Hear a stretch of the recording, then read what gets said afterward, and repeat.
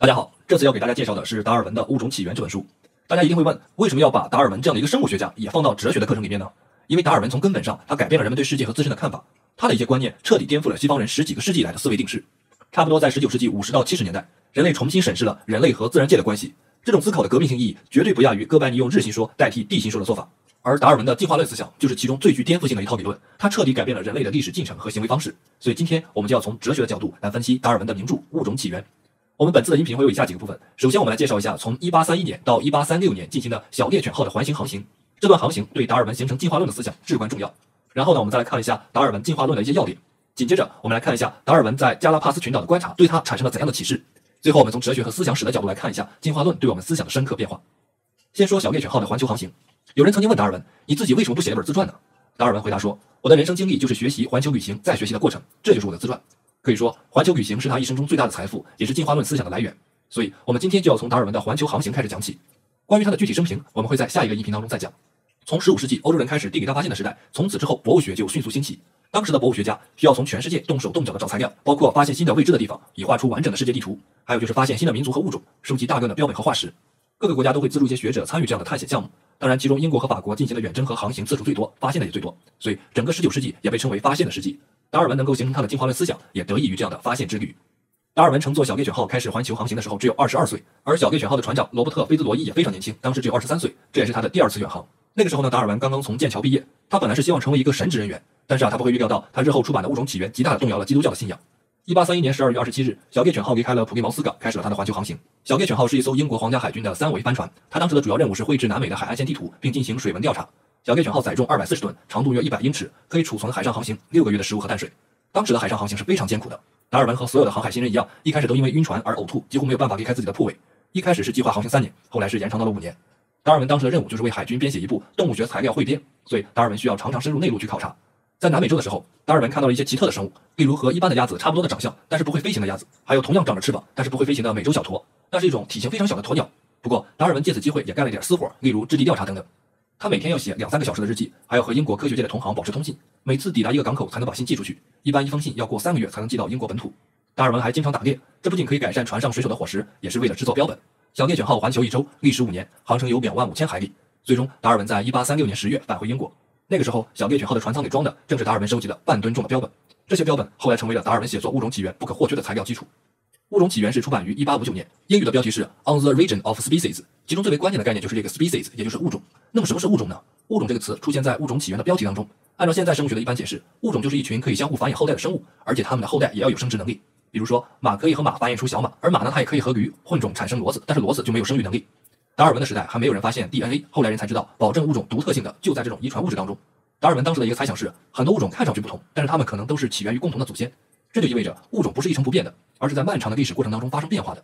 那么问题就来了，一个物种是如何变成另外一个或者是很多个物种的呢？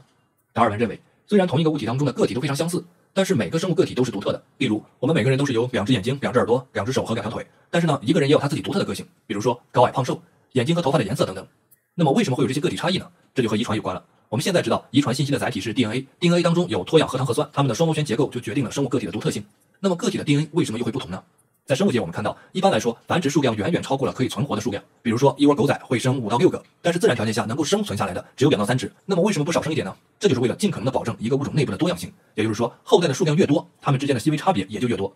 遗传有两个基本的要素：重组和变异。重组就是两个生物个体 DNA 的随机混合，一般发生在生殖过程当中。这个重组过程要比公司重组可复杂多了。首先，雌雄双方的 DNA 先要被打散，然后雌雄双方各提供百分之五十的 DNA 传给后代。而变异呢，这就更为随机了。变异我们可以理解为 DNA 的读写和复制过程当中出现了错误。很多因素都会造成这种错误，比如说辐射呀、污染啊等等。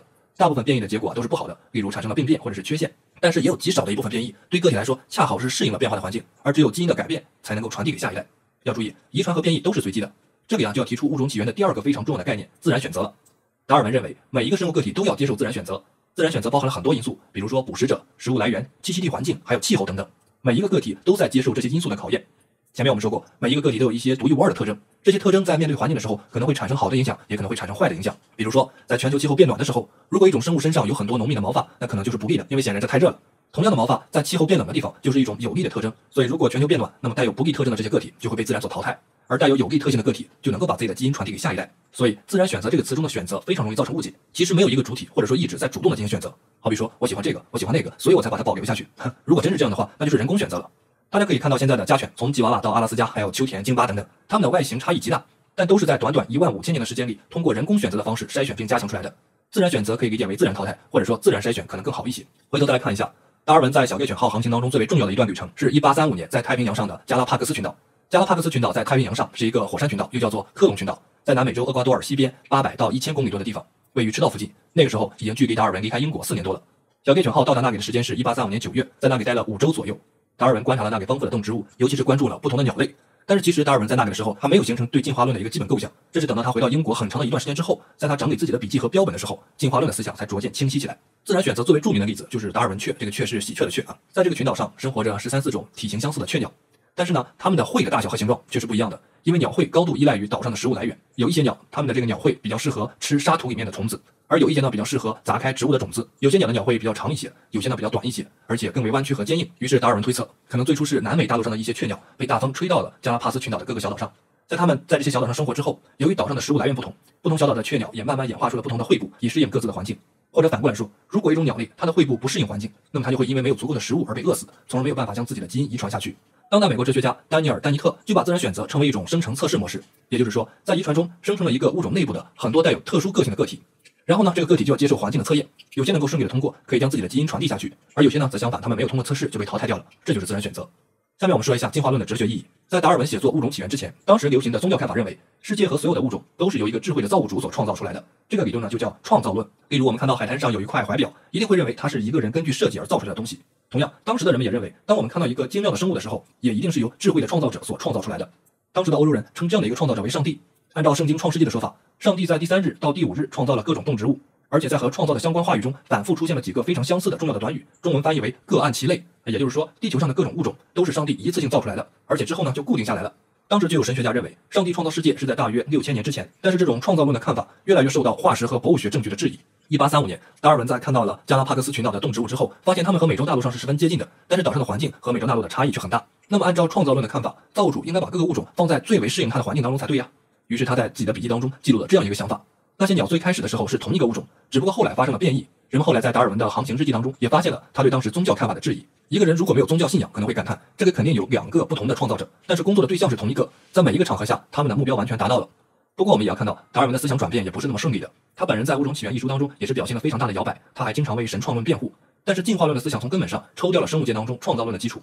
因为在自然界中经历的生物和器官，比如说眼睛和大脑，都是在漫长的演化过程当中产生的，并不需要预设一个智能的设计或者是创造者。自然本身的进程可以解释自然的成果，而不是需要一个外在的意志或者是原因。我们每一个个体都是三十五亿年前生物进化的结果。所以说，如果你祖上不是特别有钱的话，至少也是三十五亿年进化的赢家。所以大家要感谢自己的生物祖先。那么反过来，生物之间呢也是相互平等的，任何一个物种都只是生命树上的一个树杈而已。生物的相似性来自于我们共同的祖先。如果来总结一下的话，可以说物种并没有固定不变的本质，物种是变化的，而变异则是进化过程的燃料。爷爷的爷爷是人，并不意味着爷爷的爷爷爷爷的爷爷啊，追溯一万代的爷爷还是人。所以在下一个音频当中，我们就来看看人们通常对进化论有哪些误解，以及进化论对人类社会意味着什么。好的，我们来总结一下今天的音频内容。我们首先介绍了从1831年到1836年进行的小猎犬号的环球航行，这段航行对达尔文形成进化论思想至关重要。然后我们来看了一下达尔文进化论的一些要点，包括物种是什么，什么是自然选择。紧接着我们来看了一下达尔文在加拉帕克斯群岛的观察，对他产生了怎样的启示？也正是在加拉帕克斯群岛的观察，使达尔文认为物种并不是一成不变的，而是不同的物种有着共同的祖先，但是因为环境的差异，某些特征得以保存下来。最后，我们从哲学和思想史的角度来看了一下进化论对我们思想的深刻改变。一个重要的颠覆性后果就是进化论否定了欧洲宗教当中神创论啊，或者是创造论的思想。好，音频的最后呢，我想向大家提一个问题：你能够接受人类起源于猿猴或者是类人猿这样的说法吗？请大家思考一下。大家好，今天呢，我们继续来说达尔文。当代的生物学家也是一个达尔文主义者，理查德·道金森在他的《自私的基因》这本书当中说，如果有高级的外星生物来到地球，他们看到人类的第一个问题就是要问：人类已经明白进化了吗？也就是说，进化论在道金斯看来是判断一个文明发展到什么阶段的重要标志。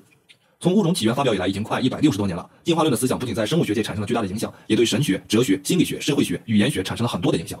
所以，当代哲学家丹尼尔·丹尼特说，达尔文的基本思想犹如一种能够侵蚀一切、渗透一切、什么都无法阻挡的万能之酸。有西方学者认为，公元纪年的第二个千年当中，达尔文的物种起源的地位就犹如第一个千年当中的圣经。所以啊，我们这节继续来阅读物种起源。我们这次的音频内容会有以下几个部分，我们会介绍一下达尔文的生平，然后我们来看一下对于进化论的那些常见的误解，尤其是对优胜劣汰适者生存的误解。再然后呢，我们来了解一下达尔文的好友赫胥黎他是如何来捍卫进化论的。最后我们来分析一下进化论超出了生物学之后，在人类社会政治领域的运用结果。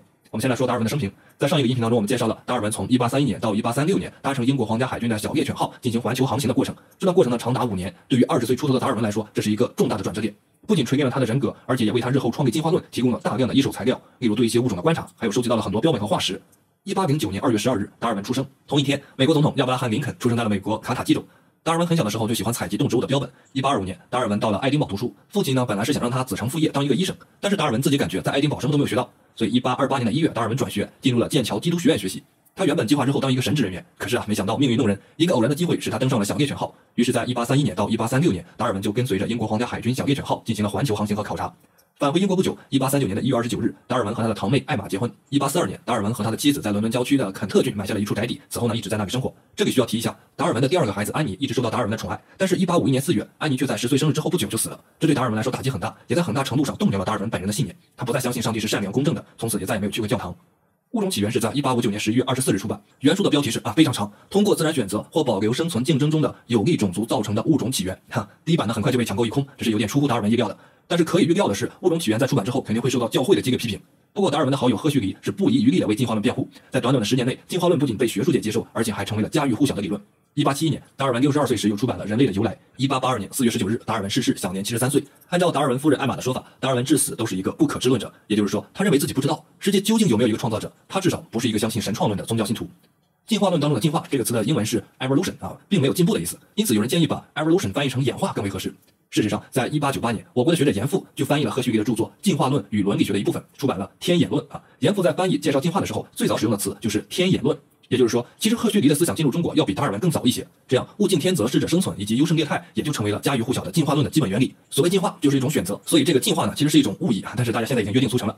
我们一般把进化论啊总结为两个短语，那就是优胜劣汰、适者生存。这两句话也非常容易引起误解。我们下面呢就来分辨一下。首先，优胜劣汰是在特定环境中对个体而言的。这里的优劣这两个字啊，似乎已经包含了某种好坏的判断。其实并不是这样的。自然选择的意思是生物个体会突变，然后突变被自然选择所筛选。所以说根本不存在向哪个方向前进的问题，只是跟随着特定的环境而不断的演变。而且达尔文所说的演化，只是对小环境的局部适应。例如我们在上一个音频当中讲过的例子，加拉帕克斯群岛上雀鸟嘴部形状的变化。要注意，这些微小的变化都是在几百万年的尺度上演化而来的。如果发生行星级别的短时间大灾难，比如说小行星撞地球，那么几乎是没有任何生物可以应付这样的大变化的。恐龙的灭绝就是一个非常好的例子。恐龙是当时地球表面上最具统治力的生物，但是它们也显然没有办法应对环境的急剧变化。一些较为低等的生物反而能够在更为恶劣的情况下生存，比如说细菌、真菌。所以演化的结果至多只能是一个局部最优解，并不能够保证最终啊能够登上生物链的某个高峰。不过话说回来，如果恐龙没有灭绝的话，人类大概也就没有出现的机会了。好，我们再来看一下适者生存。适者生存英文是 the survival of the fittest，是哲学家斯宾塞在1851年最先使用的词汇。大家有没有注意到一个细节问题？达尔文的物种起源是一八五九年出版的，而适者生存这个词比他早了八年就出现了。适者生存，按照哲学的看法，是一个套套逻辑。换句话说，按照进化论的看法，能够生存下来的物种都是适合环境的。也就是说，适者生存本身并没有给出任何适合生存的标准，而仅仅是一种事后证明。只有在一段演化完成之后，我们才能根据环境来反推生物为何发生这样或者是那样的变化。来总结一下，进化在发生之前就有确定的方向吗？回答是没有的。生物界有其自身的目的吗？也是没有的。一八五九年《物种起源》出版之后，达尔文受到了很多官方的激烈批评。不过，所幸的是啊，他也得到了很多帮助。其中最为有力的支持就是来自于托马斯·赫胥黎。赫胥黎是达尔文的同行，也是一个博物学教授，当时只有三十五岁。他的经历和达尔文非常相似啊，也曾经在军舰上做过博物学研究。赫胥黎在第一次读了达尔文的《物种起源》之后，就给达尔文写了一封信。他高度评价了达尔文的著作。他说：“您的思想给那些渴望自由的人带来了光明。”当然，他也预见到了达尔文肯定会遭到非议。赫胥黎后来被称为达尔文的斗犬，但事实上，他更像达尔文理论的代理人。最著名的一个事件就发生在一八六零年六月，英国科学学会在牛津举行了一场会议上。当时有一位叫威伯福斯的主教来到了会议上，他本人是一个数学家，对生物不是很懂。但是他在这次会议上发表演说，讽刺了达尔文的学说。他在演说结束之后，向赫胥黎提问了一个问题。他说：“请你回答一下，是您的祖父还是祖母来自猿猴呢？”赫胥黎非常冷静地回答说。因为自己的祖父是猿猴就感到羞耻，这是不应该的。真正感到羞耻的是这样一种人，他心浮气躁又巧舌如簧，在自己出现的活动范围里取得了一些成绩还不够，还偏要对自己不擅长的科学领域横加干预。他只顾夸夸其谈，不惜用一些不着边际的议论混淆大众的视听，甚至他巧妙地利用宗教当中的一些偏见转移听众的注意力，让他们远离一些问题的核心。下面呢，我们再来说一下斯宾塞和社会达尔文主义。社会达尔文主义是早于达尔文的物种起源出现的。哲学家斯宾塞在达尔文之前就提出了适者生存的概念。他在1855年出版的《心理学基础》这本书当中就表达了类似的想法。达尔文本人对进化论是十分谨慎的，而斯宾塞建议把进化论思想运用到各个领域当中，也就是说，不仅仅局限于在生物学的领域当中，人类社会中也可以运用进化论，把进化论思想运用到人类社会领域，这就形成了所谓的社会达尔文主义。斯宾塞认为，社会可以和生物有机体相比拟，社会与其成员的关系就犹如生物的个体和细胞的关系。社会达尔文主义本身并不具有一种政治倾向，而是提出了一种社会模型。他根据自然界食物链的现象，提出了弱肉强食、物竞天择、适者生存的观点，并以此来解释社会现象。实际上，他突出的并不是自然选择，而是人类种类的生存竞争。关键在于，斯宾塞认为，物理世界和自然世界的规律可以直接应用到人类事物上。当时在欧洲流行一种种族主义，认为人类是不平等的，有些民族是优等的，而有些是劣等的。达尔文自己在后来的《物种起源》这本书中也说，很有可能未来文明的种族会被野蛮种族彻底消灭并取而代之。所以，社会达尔文主义很容易被政治所利用，用来鼓吹一些民族对另外一些民族的统治和压迫，为殖民主义服务。后来，在社会达尔文主义的基础上，出现了很多优生学理论，其中一种理论是由达尔文的表弟弗朗西斯·高尔顿发展起来的。高尔顿认为，人的生理特征明显的世代相传，因此人的脑力品质，也就是天才和天赋，也是如此的。那么，按照高尔顿的看法，社会应该对遗传有一个清醒的决定，也就是要避免不合适的人群过量繁殖，以及那些适应的人群不足繁殖。高尔顿认为，像社会福利和疯人院之类的社会机构，允许劣等人生存，并让他们的增长水平超过了社会中的优等人。如果这样的情况不得到纠正的话，社会就会被劣等人所充斥。达尔文本人阅读了他表弟的文章，并且在《人类的起源》中用了部分章节来讨论高尔顿的思想。但是，不论是达尔文还是高尔顿，都反对政府采取任何强制的措施。但是到了二十世纪就不同了，有人利用社会达尔文主义和所谓的优生学，发展出了一系列的政府强制政策。最为极端的做法，就是在纳粹德国时期，曾经系统的对残疾人和精神病患者进行非自愿的安乐死，这就是纳粹德国历史上臭名昭著的“替四法案”。美国在上世纪三十年代，各个州也有法令对精神病人进行强制绝育。可以说，这些做法从根本上就混淆了作为科学理论的进化论和作为意识形态的社会达尔文主义。生物界的弱肉强食，这本身就是一个自然的基本事实；而在人类社会中主张的弱肉强食，变成了一种规范性的主张，将事实和应该混淆起来，始终这是值得怀疑的。我们也要保持警惕，如何防止所谓的科学理论成为某种反人类政策的帮凶？其实，按照现代分子人类学的研究，现在地球上的人类都是起源于非洲的，也就是说，所有的人都有共同的祖先，而且人与人之间的基因差异是极小极小的，种族和语言产生的要晚得多得多。尝试用人的生物特性来论证种族的优劣，或者是弱肉强食的正当性，都是无效的。达尔文绝对不是一个生物决定论者。我们需要说明的是，进化论它是一种科学理论，而不是信仰。那么，既然是科学理论，它就是可以探讨的，也是可以质疑的。生物学经过了一个多世纪的发展，尤其是在遗传机制上的发现，填补了达尔文时代没有说明的问题，也就是遗传的机制。不过，我们也看到进化论存在一些瑕疵和缺陷，例如在化石证据上，有很多物种与物种之间至今为止都找不到的中间类型。再比如，关于本能问题，有些动物的行为似乎超出了本能的范畴。有些蚂蚁会在自己的巢穴内圈养另外一种蚂蚁，后者类似是前者的奴隶，他们会帮助前者搭建巢穴寻找食物。虽然据我所知，达尔文强烈的反对奴隶制，似乎达尔文的理论也很难对蚂蚁驯奴这样的现象做出合理的解释。还有，如果将 DNA 看作一种信息的话，那么从无机物到有机物就意味着信息的飞跃，这是如何发生的呢？学界目前也很难回答。再有，从化石看来，在寒武纪出现了生物大爆发，在大约五亿四千两百万年前到五亿三千万年前，在地质学上被认为是寒武纪开始的时候，在两千多万年的时间里，突然出现了众多门类的无脊椎动物化石。为什么会出现这样的大爆发？至今生物学上也没有很好的解释。但是无论如何，上述这些问题都不是我们要返回神创论的理由。物理学家薛定谔曾经提出过，如果物理是一个封闭系统的话，那么按照热力学第二定律，整个宇宙的熵一直都是在增加的，也就是说，宇宙内部的无序程度一直在增加。但是生物显然是一个反例，生命本身在局部减少了无序程度，也就是说，生命就是一种负熵现象，这在宇宙当中还是独一无二的。这本身就是一件非常奇妙的事情。如果我们不再局限于地球，而看整个宇宙，为何会出现生命这个问题，仍然是让人着迷的。关键是人类本身在很大程度上越来越少的受到自然选择，而更多的是在自己对自己进行人工选择。未来的人会怎样，基本上取决于人对自己的认识和设定。好的，我们来总结一下今天的音频内容。我们首先来介绍了一下达尔文的生平，然后我们看了一下对进化论的常见误解，尤其是对优胜劣汰、适者生存的误解。进化在发生之前并没有目标。紧接着呢，我们来了解了一下赫胥黎是如何捍卫进化论的。最后我们来分析一下进化论超出了生物学之后，在人类社会政治领域的运用结果。最后呢，我还是想提出这个问题：你能够接受人类起源于猿猴，或者是类人？